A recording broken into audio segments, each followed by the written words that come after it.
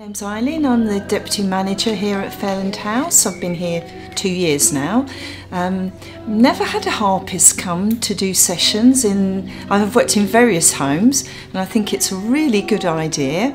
Um, it's quite soothing and the residents really enjoy the, um, the sessions that we have every Thursday. It actually gets some residents up in the morning because it's an early morning session and um, they certainly enjoy the um, singing and the participation. Um, so if we can continue this, it would be lovely. As a staff group, we've noticed that the residents um, chat about the sessions after they've been to them and how much they enjoy it, and how um, some of them have never um, experienced harp playing before, so that's um, a new experience for them. And even our uh, less vocal residents appear to enjoy it more and will speak about it. So. Hi, Sophie, and I'm a senior care assistant. As the weeks went on, more and more people wanted to join in with the harp and realised that everyone was talking about it and wanted to be involved. Um, when they're finished doing the harp, they go to lunch and everyone's still talking about it because it's brought back all the memories and the things that they done when they were obviously younger and all the songs that they sang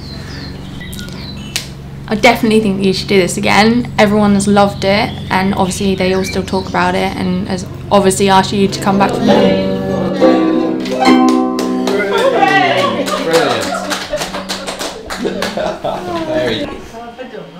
When were you in the guides? Was- A, B, C, D, E, F, G, H, You can still remember all of that semaphore, J, K, L, M, N, O, P, Q. and you're still good. going.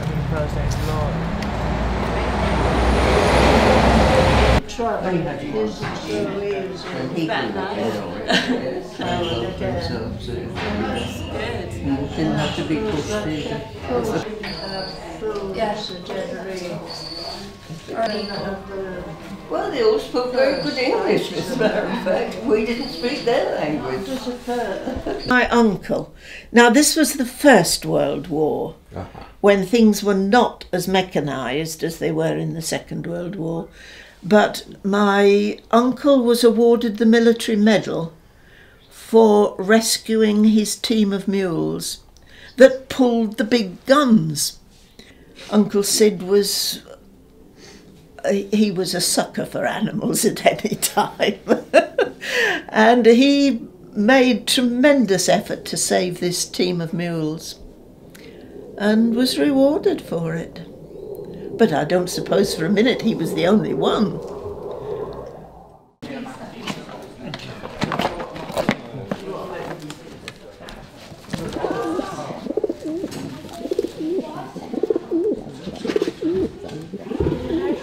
You. A pigeon that loses its sense of smell will not navigate home. So we think they also smell their way home, a bit like salmon do in rivers. Size of their brain, tip of your little finger. When they're racing, their hearts will beat at 400 beats a minute. If your heart's beat at 400 beats a minute, you'd be dead in about 20 seconds. Because we die. How far do you think the street?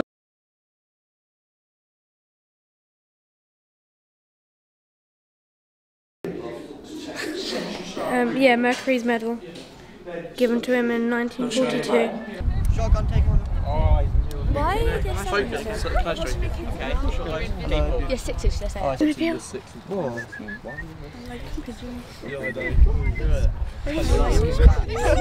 As you can. Go on. One, two, three, go.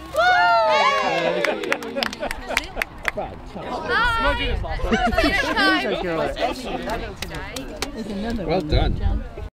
And then one, two, three, really high. Ready? One, two, three, go. It's very, very silky, very nice for us, uh, very soft, and it was a good experience. They're all going the same way. There he goes. Great experience. No, I have my I have one friend. He have like, pigeons. Uh, I like them. They're like, very nice. there, yeah, there, was, there, was, there was really helpful for the World Wars. Yeah, they have a lot of medals. Uh, they have most of the medals. Same like dogs. Go back there. No, look, they're just circling now. Oh, come back. Come back. Actually, no, I don't.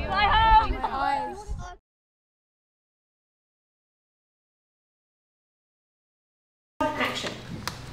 How's this whole week been with Fiona and Tim? The whole week's been amazing. Like they've set they've set this whole week up for us to learn about what has happened in the past. And if they didn't help us, we wouldn't have known any of this communication. The best thing was probably going to the Castle Museum, looking at all the ancient stuff, and looking at like all the guns and all the gas masks that have actually been held or worn by a soldier or a little child that was in or an evacuee in the World War. I've learned more about how they used to communicate in world wars and pigeons. Thing throughout this project. Probably going up to the castle yesterday. Why? Because it was something to do and you're not sitting down, you learn more stuff going around doing those things. What have you learned about pigeons altogether now Um, in World I've- War? I've learned how like they have the like straps on the back, how they know where their home is and everything like that. What type of communication have you learned about? Um, I've learned about like the, when they had the um messages like in like the little things put on the pigeons' backs and going around there like that.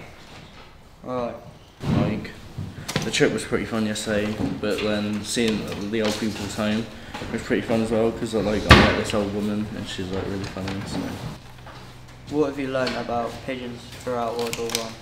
they carry messages. They were quite useful. What type? letters, um, telegrams. What have you learned about pigeons throughout World War One? Uh, they're used for communication.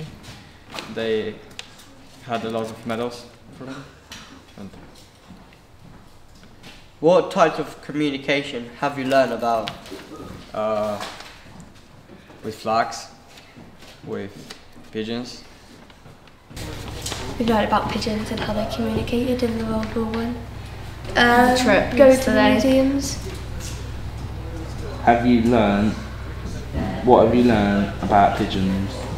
Uh, that they used to carry messages to other people and how they'd like know their way home.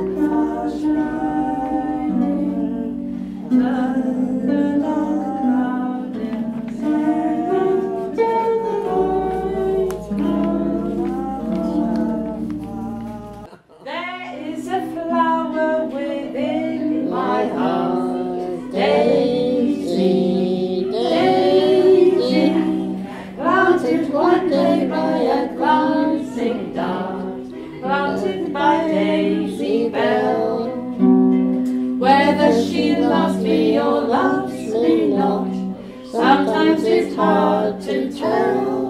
And yet I am longing to share the lot of the beautiful days we bear.